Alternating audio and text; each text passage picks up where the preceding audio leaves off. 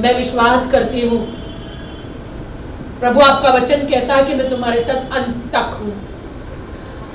और माँ हमेशा एक ही गाना वो पुकारती थी, आएगा मेरा यीशु, हमें लेने एक दिन जाऊँगी मैं उसके संग। जहाँ पर होगा अनंत जीवन, माँ आप हेवन में हो, मैं बिलीव करती हूँ।